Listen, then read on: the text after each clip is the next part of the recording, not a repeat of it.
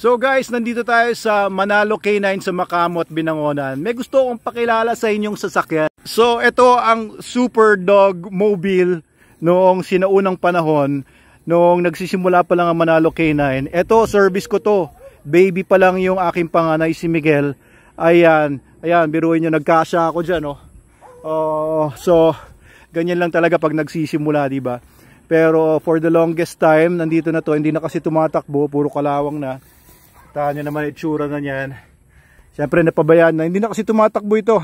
Actually ito, binili ng nanay ko dahil meron kaming project dati na real estate. Pero later on, dahil uh, medyo nagkaroon ng aberya yung real estate deal na yon ay ginamit na namin sa Manalo K9 ito. So dito siya ngayon, ginagamit pa rin para sa mga vehicle search exercise. Ayan, gusto ko lang na makilala nyo ito. Ang ating multicab na Suzuki. Ayan. Andito yan.